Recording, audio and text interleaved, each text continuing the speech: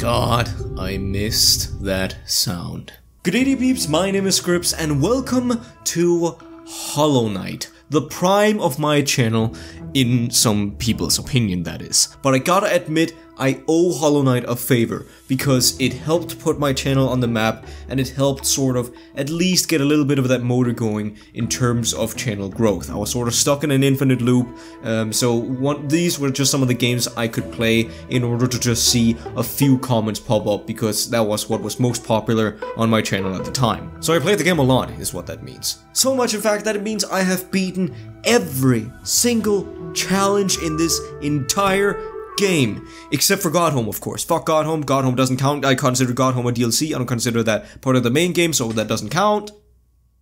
So it's not clickbait. But there is one challenge I haven't done in the main game yet. One that people have been talking about for a long time as one of the most painful things to do. It's extremely difficult apparently, and it's something that I've actually even illustrated before, but it's completing the flower challenge for the Grey Mourner. And it's actually sort of graveyard media that reminded me that this challenge really exists. Uh, I just suddenly came by one of their videos and going into their YouTube channel, beating the flower challenge is still their most popular video of all time, and he didn't even beat it. What a scrub. So it's time to pick up the gauntlet, it's time to get into the fight, and it's time to show what we're made of. I have played this game for a long time. It might also be a long time since I've played this game, so it's gonna take a little bit for me to warm up to it. But I think I know my stuff, thank you very much. Except how to get out of Godhome. I actually don't remember that. But yeah, it's actually been such a long time since I've played this game, and I actually know so little of the challenge uh, with the Grey Mourner. I just know that it exists, but I know so little of it that I actually don't even know where the Grey Mourner is. I think they're in the dream place? Oh god, I gotta get through this entire segment, don't I? See how I just got hit there? Can allow those mistakes to happen when we're doing the actual run. Oh, and it's here. I've never seen that. Oh, what is this place? That's cool. So is this just her hut? Like out here in the middle of nowhere? Hi! The legendary warrior I've never heard about. Okay, so let's take this mission. I'll tell you later. Ah, Mahon, this world, this cruel, sinful world. Why does she wake? Why does she persist? Ah, Lema, you could not know the tragedy of complete as cheese. True lovers stripped apart two worlds that could not meet. And now, Millet lover, dead so long in time, dead so far away, buried Moana, I, amongst its hateful kin, that deny our union, that did reject she's outsideness. She doesn't suppose. Nalo, Nalo, could she ask? Could she burden? It's very dramatic. Lema, wouldst you couldst you deliver gift to her grave? So this is basically the mission. Delicate flower. Oh, rare boon you grant lemur, it will be Chi's last request. After this, never shall Chi lay burden on another. Oh god, that's sad. So yeah, she might have riled it up as some big deal, but that's because it absolutely is. For you guys who've played Hollow Knight, you know what this is about. For you guys who don't, let me fill you in. I have now received an object from this person called the Grey Mourner. The Grey Mourner, there's a whole lot of lore, but basically her lover passed away, um, and they were basically two people who were never supposed to meet. They were from different um, tribes or whatever, and they weren't supposed to be together. It's kind of like a soul-bound lovers thing. But her lover died, and now she wants us to deliver a flower to her grave on the other side of the map.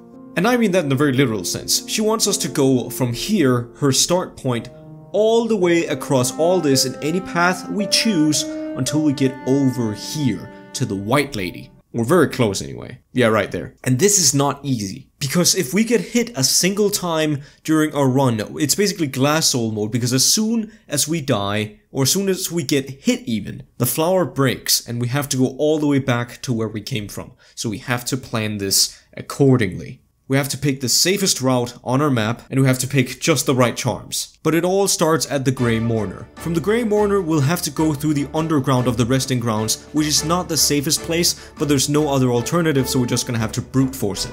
As soon as we get into the hub area of the resting grounds, we then have three different routes to pick. We can pick one, which is the tram station on the left, which will head into the Forgotten Crossroads. It's a little more dangerous since you'll have to be exposed to some monsters, maybe on the right side of the Forgotten Crossroads, but it's pretty low risk. The second route being pretty much the same since all you have to do is just take the lower path into the Forgotten Crossroads and directly over to the Charm Cellar. But the Forgotten Crossroads itself is actually a pretty bad place to be, especially since it got infected and pretty much all its inhabitants are explosive, and not only that, but you need to go through spikes if you want to go directly to the fungal wastes. So we're gonna have to head down to the City of Tears anyway, making the elevator shaft down to the City of Tears the best choice, as it's very flat terrain and you should be able to maneuver around most of the enemies pretty easily. Now we'll get into more strategizing once we reach that actual area safely, but for now it's all about execution. So basically we have a bunch of charms here to pick between, but anything that gives us health, anything that benefits from like taking damage or anything, th those charms are useless. But that also means overcharming won't be a problem since we cannot take a single hit.